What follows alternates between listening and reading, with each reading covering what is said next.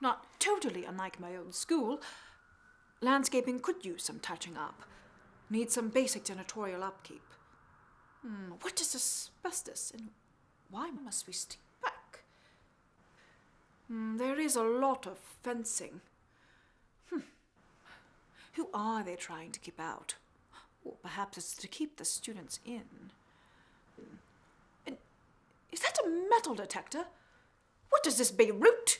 Well, best roll up our sleeves and get to it. Anything can happen if you let it.